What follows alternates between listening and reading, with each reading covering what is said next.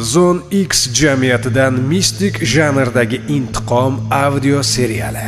Eslatib o'tamiz, ushbu audio serial 3D sifat darajasida bo'lib, naushnikda eshitish tavsiya qilinadi. Ikkinchi qism. Bahromning tanasi muzlab ketganday bo'ldi. Yuragi to'xtab qolgandek edi go'yo. Oyoqlari o'ziga bo'ysunib bo'ysunmay derazadan uzoqlashdi.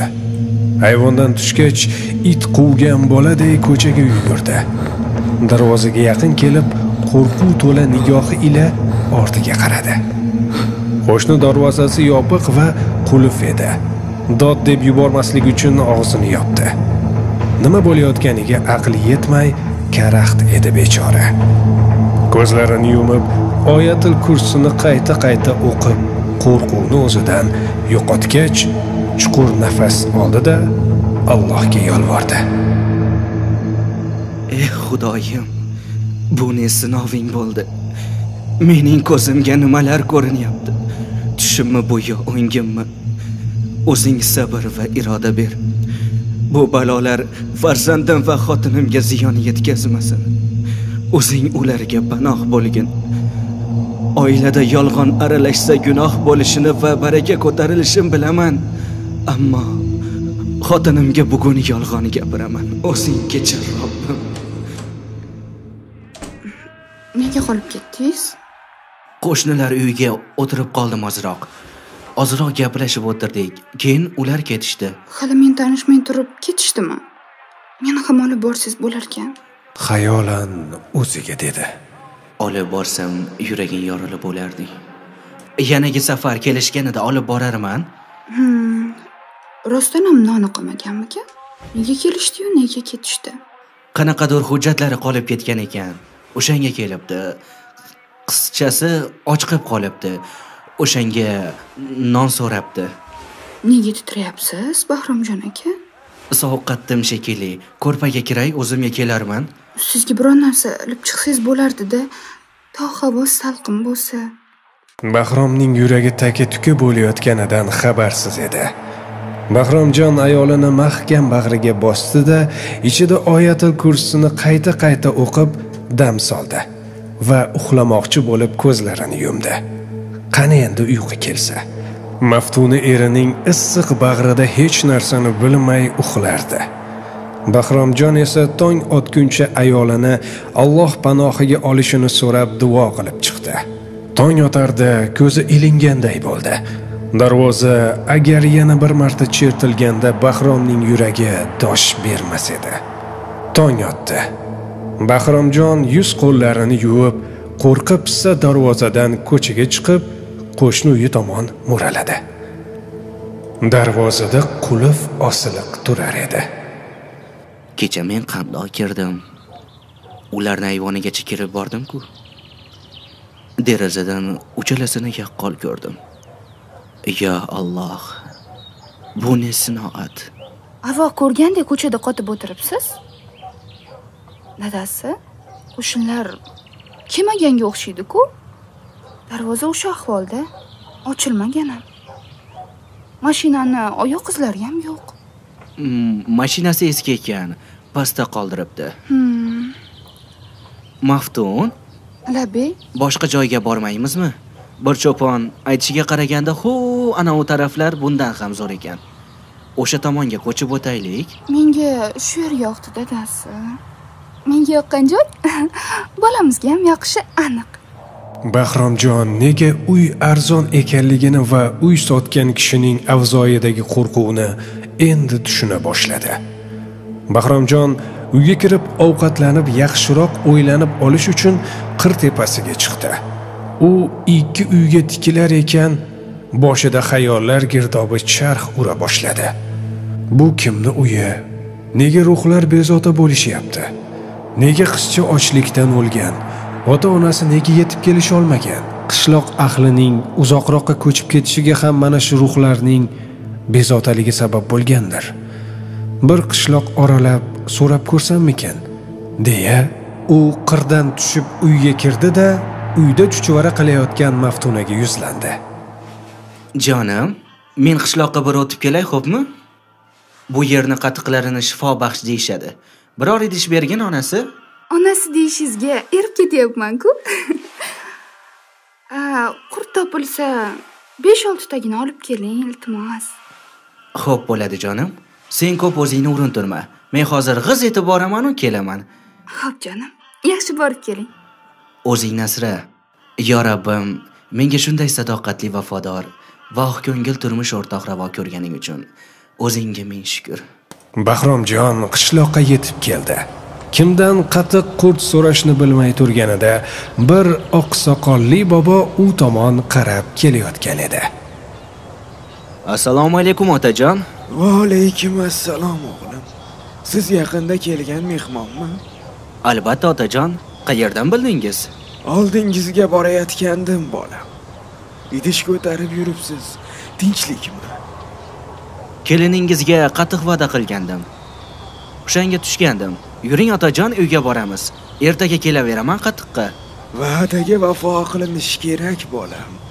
Sizni uyingizga borolmayman. U yerda farzandlarim arosatda yurishibdi bizni uyga yuring. Qatiq bor yana sizga aytar gaplarim ham bor bolam ularni siz bilasizmi nega ular bezovta uyga yuring bolam hammasini o'sha yerda aytib beraman Bahromjon yana hayrat botqog'iga botgancha cholni ketidan ergashdi. Ikkisi cholni uyga yetib kelishdi. Supadagi to'shalgan joyga chiqishdi. Kampir dasturxon yozmoqchi edi, Bahromjon unamadi. Uning birdan bir niyati qo'shnisining nima bo'lganligini bilish edi. Chol bir piyola choy ichdi-da, hikoyasini boshladi. o'sha siz turgan uy yonidagi uy mening uyim edi o'zingiz guvohi bo'lgandirsiz tabiati qanaqa ekanligini bittagina farzandim bor edi uni o'qitdim oliy ma'lumotli qildim shaharda qolib ketmasin deb o'sha tepadagi uyni o'g'lim uchun sotib oldim. O'g'lim shahardan bir qizni topib o'shanga uylanaman dedi. Rayini qaytarmadik. Xo'p dedik. O'sha paytlari tog'ga sayohatga bir boy kelganda meni uyimni ko'rib sotib olmoqchi bo'ldi. Unamadim. Lekin ko'p o'tmay yonidan dang'illama qilib uy solib mening uyim bilan alishtirmoqchi ekanligini aytdi. Bolam uchun bunga rozi bo'ldim. Unga mashina olib berdim. Boy kishi o'zimni uyimni ham buzdirib qaytadan tiklatdi bu uy ham anchagina dang'illama bo'lib qoldi. O'g'lim bilan kelinimni o'sha yerga olib kelib qo'ydim. Mening o'g'lim ham bora bora shaharni unutdi. O'sha uyda shirin farzand qizaloq tug'ildi. Men uni har qo'limga olganimda soqolimni tortib o'ynalardi kulardi. Juda shirin edi nabiram. Nabiram to'rt yoshga to'lganida kampirim bilan meni hajga jo'natdi. Hajda ham nabiramni o'ylab yurdim. Qaytar chog'imizda sovg'a salomlar oldik. Uyga kelsak uyga kelsak sovuq xabar bizni qarshi oldi. Bu yerga kelgunimizcha yo'l yoqasidagi jarlikni ko'rdingizmi? Ko'rdingizmi bolam o'sha jarlikni? Ko'rdim otajon. Ko'rdim. O'sha yerda o'g'lim bilan kelinimning jasadi topilibdi. Mashinasi bilan tushib ketgan ekan.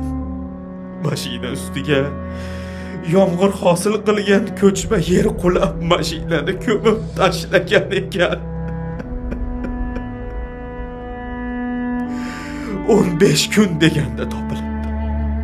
Uyda qolgan nabiram ochdan o'lgan. Yonidagi boyning o'g'li ham xotini bilan chet elga ketishganini aytishdi. Bechora nabiramdan hech kim xabar olmagan. O'shandan buyon bolalarim ruhi bezovta. Doktorlar nabiramni jon uzilgan vaqtini aytishganida dod deb yig'laganman. Tug'ilgan kuni joni uzilibdi. Bechora nabiram qo'g'irchoqlarni quchoqlagancha jon beribdi. Yo xudo! Allohning irodasi otajon. Jon allohning mulki. Biz bandalar sabr qilmay qayga ham boraylik? Bolam. Yetti kundan keyin nabiramning tug'ilgan kuni. Ayolingizni u yerdan olib keting iltimos. Bolalarim ruhi o'sha kun tong otgungacha yig'lashadi. Uyingizga ham kelishlari mumkin. Ayolingiz bu holatni ko'rib biror kasal bo'lib qolmasin. O'sha narsani aytish uchun borayotgan. Dedi bobo xasta ovozda. Otajon nega nabirangizni yolg'iz tashlab ketishdi ekan? Bu yerda boshqa sir bormikin yoki? Bilmayman bolam. Bilmayman. Menga shunaqa deyishdi.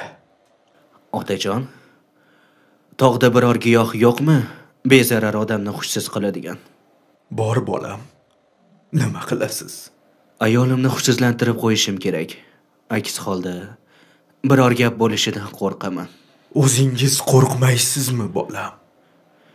Men ham qo'rqyapman ammo bu yerda bir sir bor otajon. Tagiga yetmasam bo'lmaydi. Farzandlaringiz bekorga bezovta emas. Men albatta buni tagiga yetaman otajon Alloh sizdan rozi bo'lsin bolam. Bahromjon boboga sabr tilab qatiq qurt va giyohni oldi-da uyi tomon yo'l oldi. Bahromjon uyiga yetib keldi. Qorong'i tushdi. Bahromjon maftunaga sezdirmasdan giyohni choyiga qo'shib berdi. Maftuna uyquga ketgach atrofiga aylanib oyatil kursini qayta qayta o'qidi-da qo'shnilar chaqirig'ini kuta boshladi. Yarim tun darvoza taqilladi. Serial ijodkorlari rollarda bahromjon rolida imron maftuna rolida aslzoda alimova ota rolida anzor hikoya qiluvchi kamina jammuzi ovoz rejissyorlari bekzod va dj only. Ssenariy muallifi parizoda rasulova. Serial muallifi Zone x jamiyati. Zone x asl haqiqat asl jamiyat.